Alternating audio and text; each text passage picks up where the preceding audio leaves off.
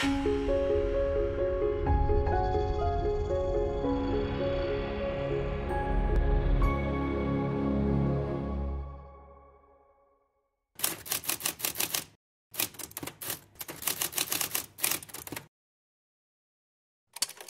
aux événements survenus sous l'Allemagne nazie pendant la Seconde Guerre mondiale, le psychologue Stanley Milgram tente d'analyser le phénomène qu'il appellera soumission à l'autorité.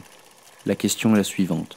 Jusqu'où un individu quelconque peut-il être amené à faire souffrir un autre s'il est placé sous les ordres d'une autorité légitime? Depuis, de nombreuses recherches continuent d'explorer ce phénomène d'influence. C'est le cas du programme ICAR. Les scientifiques proposent aux participants de l'expérience de garantir l'ordre par la punition, les munissant d'une télécommande reliée à une puce implantée dans la nuque d'un autre. Si ce dernier se comporte mal, on ordonne alors au premier de lui envoyer une décharge électrique.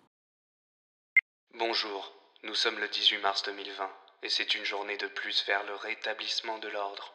Selon les derniers rapports mensuels, la criminalité baisse et c'est grâce aux actions de notre gouvernement. En voici les détails. Vol à main armée, moins 12%.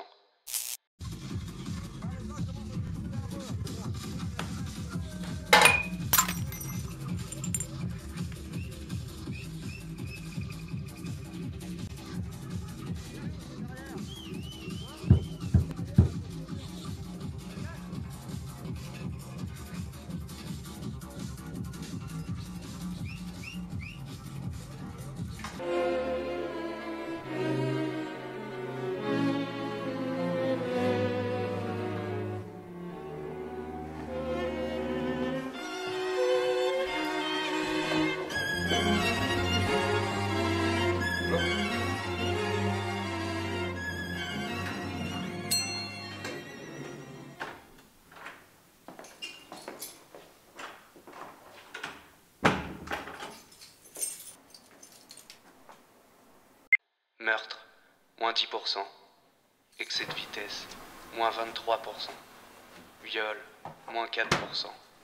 Ivresse sur la voie publique.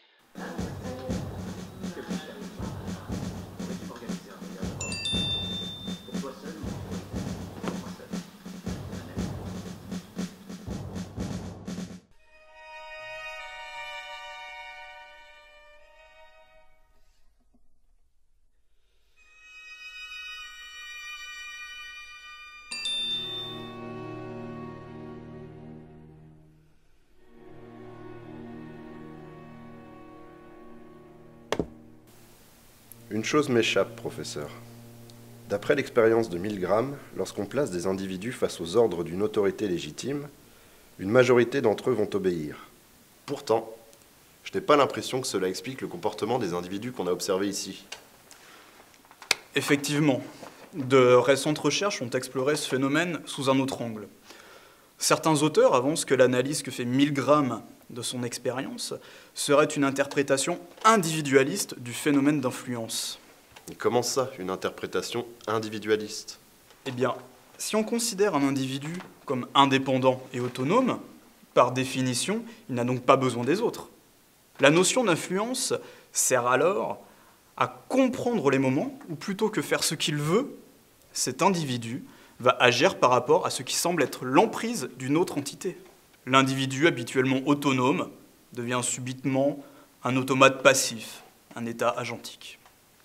Cette transformation spectaculaire aurait pour cause de puissants processus d'influence, comme les ordres d'une autorité légitime. Pourtant, de nombreux travaux ont souligné que la réalisation d'ordres repose sur la similarité de ceux qui interagissent au sein d'un même système de signification. La similarité Oui, la similarité. Plutôt que de voir de l'asymétrie, des différences, on voit de la similarité entre soi et autrui. Dans la psychologie de chacun et dans ce qu'ils ont en commun, langage, symbole, croyance. En ce qui nous concerne, le premier individu obéit. Il adhère aux valeurs du système en place. Il croit en l'autorité, en son pouvoir pour emmener un monde meilleur. Quant au second, il désobéit. Il appartient à l'ancien monde, de la justice indépendante, du procès équitable. Notre autorité n'a donc à ses yeux aucune valeur. Pratique pour repérer les dissidents.